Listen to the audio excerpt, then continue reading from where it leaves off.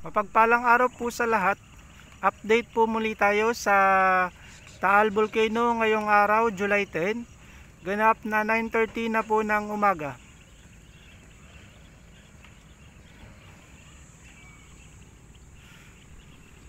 Tahimik po ang Taal Volcano ngayon. Ah, wala pong ah, lumalabas na ah, usok mula sa main crater po. Kumpara po dun sa mga update po natin ng mga nakaraang araw na sobrang kapal po ng inilalabas na usok mula sa mismong bunganga ng bulkan po.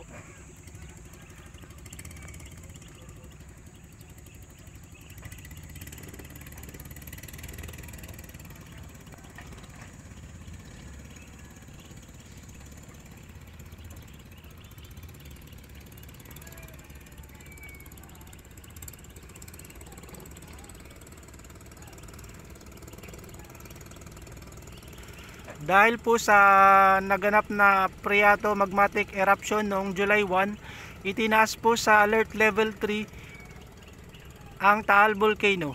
And patuloy po siyang ah, nagkaroon ng mga sumunod pa na mga Priato Magmatic Eruption.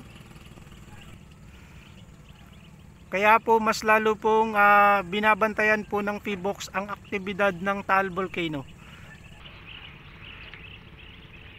Wala pong ah, lumalabas na usok mula sa main crater. Yan pong sa, git, center po. Ah, wala pong ah, lumalabas na usok. Kumpara po nung mga nakarang update po natin na napakalab, napakakapal po ng usok na ibinubuga ni Taal.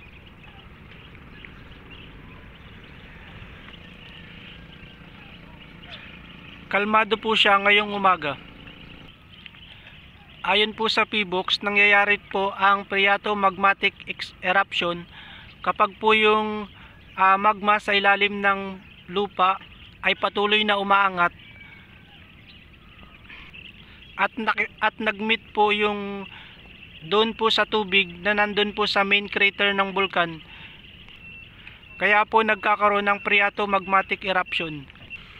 And nangyari po yun noong July 1 and nung mga sumunod pa pong araw. Nakapagtala po ang PBOX ng mga Priato magmatic e- eruption mula sa Taal Volcano. At dahil po dyan sa aktibidad ng bulkan po, kinailangan pong ilikas yung mga uh, kababayan po natin na naninirahan dito po sa dalawang barangay na malapit po sa uh, mismong uh, bulkan ang barangay Banyaga and Bilibinwang po.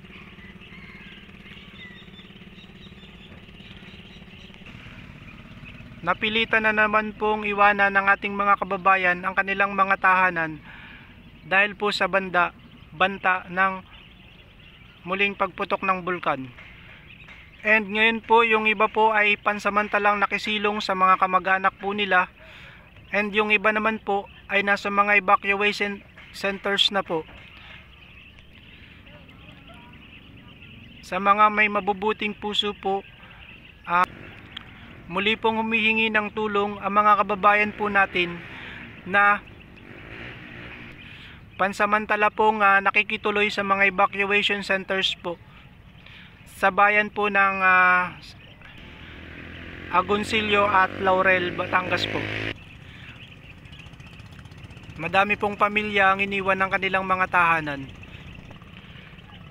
bunsod ng panganib at dahilan na din po sa mga aktibidad na ipinapakita po ng Taal Volcano. Nalalagay din po sa panganib yung mga kabuhayan po ng mga kababayan po natin kagaya po ng palaisdaan ng tilapia at bangus dahil po sa pagbaba ng uh, oxygen level sa Taal Lake at ang pagtaas naman po ng sulfide at ammonia kumpara sa normal level po yung iba po ay pinayuhan ay harvest na po yung mga malalaki na po para po makaiwas po sa banta ng Taal Volcano po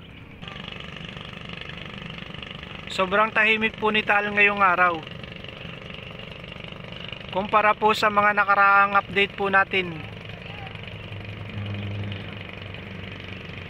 Clear po yung ah, main crater niya po. Ayan pong nasa center po.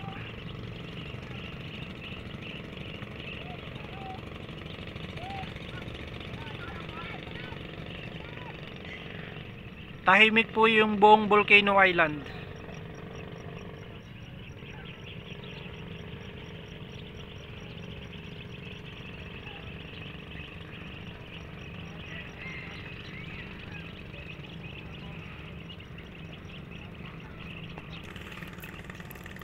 Muli man po tayong nahaharap sa pagsubok at sa banta ng taal. Patuloy po tayong magdasal at idalangin na maging okay ang lahat.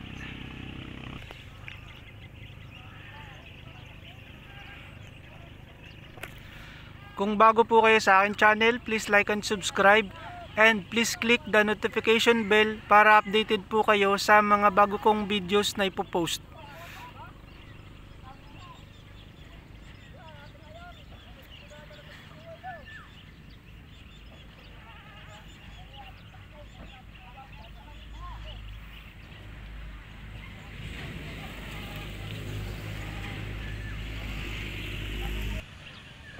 Patuloy lang po tayong magdasal at hinding hindi niya po tayo pababayaan.